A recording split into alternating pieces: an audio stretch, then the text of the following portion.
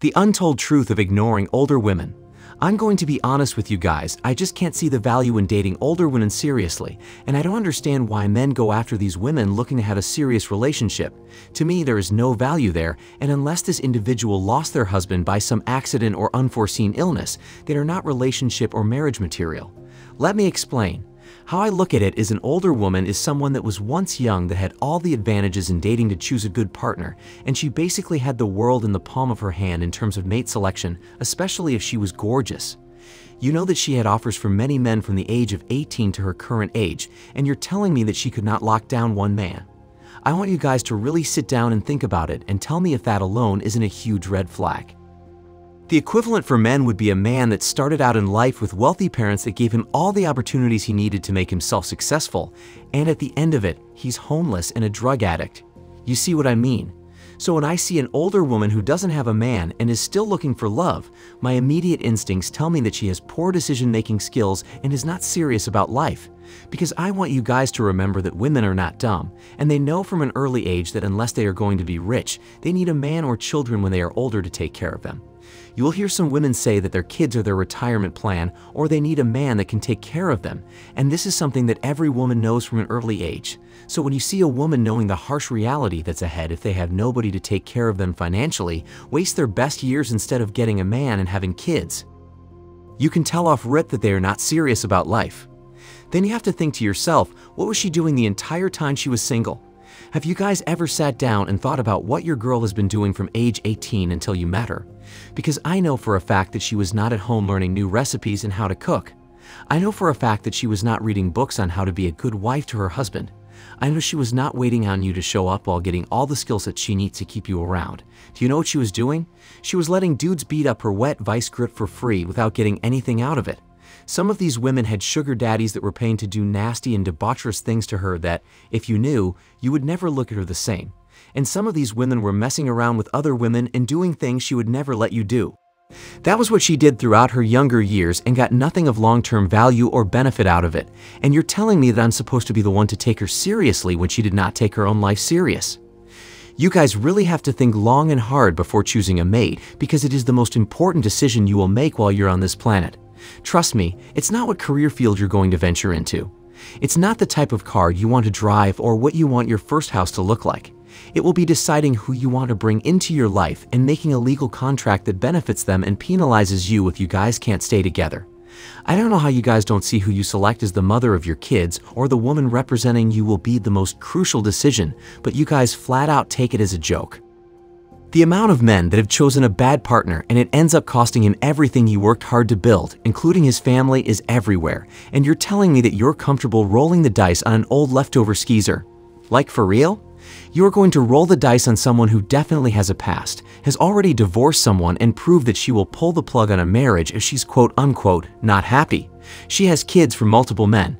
Nobody ever took her seriously enough to commit for a lifetime and she wasted her best years and got nothing out of it, and now all she has to offer is a used up dried out peace sleeve that everybody already tested and added mileage to it. You're telling me that's a good deal right there. Who in their right mind goes to a car dealership and overlooks all the partially used and new cars to buy a vehicle that is not safe for driving on the roads?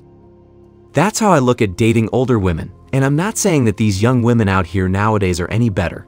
Many of them are done by age 22 with the number of dudes running through them and hitting Roski. But at least you'll probably get tight, firm skin and looking at varicose veins and stretch marks all day. Let's look at the older women that got divorced, and now they're telling you that they're still good women. Let's break them down. We all know the statistics that most women file for divorce, causing their families destruction and decay. We all know that by now, and if you're clueless that women file for divorce more than men, then I don't know what to tell you. With that said, if she divorced her first or starter husband and ran off with his money, then what makes you think that she would never do the same to you? Think about it logically for a second. She tore up her previous family, fought her husband in court over what she believes she's entitled to and took away their kids to get child support and gave him pure hell without a shred of sympathy. Do you think she would never do that to you after going through that process? She literally went into the courtroom and lied to get more money like a blood-sucking parasite. And here you come, Mr. Simp. She would never do that to me. Our love is like no other love.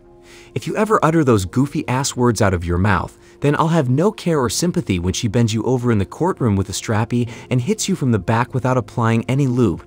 Because the proof that she's not marriage or relationship material is right in your face, the red flags are waving in the breeze, and you're telling me you can't see them, or you're choosing not to see them. Look, if a woman ever divorces her husband who was not physically and emotionally abusing her or puts her husband or baby daddy on child support, then she cannot be taken seriously to form any legal contract. She's already shown you she'll pull the rug from under you and use men to get money out of them, so why would you sign up for that? If that was a man that screwed over his business partner for money, you would never trust him, but when it comes to women, all common sense goes right out the window. The things that you men let women get away with, you would never let a man do you like that. Just because she has a warm, wet hole, you simps make women rip you to shreds and destroy your future. And the worst part is that hole was used and abused by multiple other men. But here you come, overlooking all red flags just to push and shove what other men pounded out and left their genetic material into. I don't know what to tell you because you guys are the ones making the decision even after you got burnt once or twice.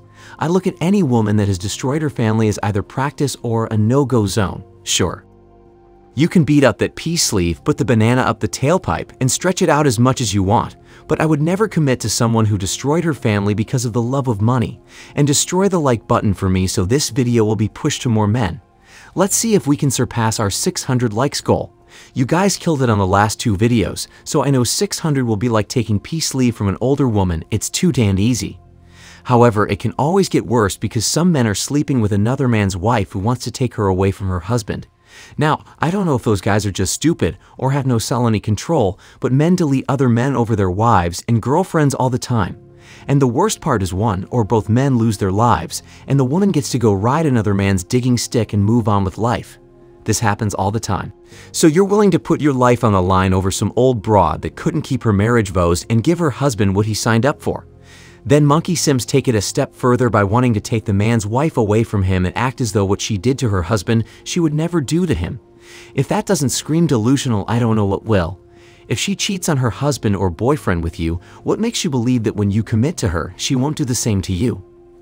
Women who cheat automatically should be seen as not wife or relationship material. Period. I don't care how good that peace sleeve is or how nasty she is in bed. Once she has a history of backstabbing her partners, you should automatically disqualify her or put her in the practice category. But no, you guys keep looking for love in all the wrong places. Speaking of places, what place in your life should older single women be? The straight truth is that she gets disqualified. Meaning there is no interaction or possible future between you guys, or she's practice, meaning she's just to be used to bust a nut, and that's it. See, you guys forget that older women only have a few decent years left, and very soon, they'll be looking like a granny, so there isn't much long-term value. And not only that, if you decide to overlook all red flags and decide to jump in, you have money to pay for in vitro fertilization if she's not experiencing menopause. Are you willing to get divorced and lose everything all over again? What if you knock her up and she praying mantis you? You'll have to pay more than a decade worth of child support. It's not a game out here, guys. I wish you would understand that. Single older women are not to be taken seriously because they wrecked their lives, and now they want you as the cleanup man to save and rescue them from their bad decisions. They are incapable of loving you. And all they're looking for is to use you for a kid or stability and have a retirement set aside. That's it, gents. So if you guys want to play that game, then go ahead, but just understand that you're going to get screwed. It's not a matter of if, it's a matter of when. So what's the solution or the best decision to make when dating older women? Well, you can always ignore these older women and date younger women, or stop dating and go your own way or monk mode. That's the safest option. The next best thing would be to only use these people as practice and don't commit. If she's still seeing her period, put on a rubber and do not risk impregnating these women. If she gets a baby out of you, then she is going to put you on child support, especially if she's a straggle or hood rat. Need to understand how valuable your seed is. A woman can get big money for 18 to 21 years in America, depending on where you live, just by you busting up in her walls. Stop and think about that for a minute. So men pay hundreds of thousands to a woman just because he left his seed inside her and it grew. The last option is to date younger women, pray you don't knock her up, and make sure you don't commit. You'll get more value for cheaper dating younger women over older women any day of the week. A used up 40 year old woman costs way more money than a used up 25 year old woman.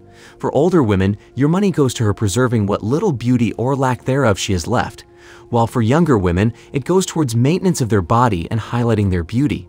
So which would you prefer, fresh meat that tastes delicious or preserved meat that is all dried out and doesn't taste anywhere near as good.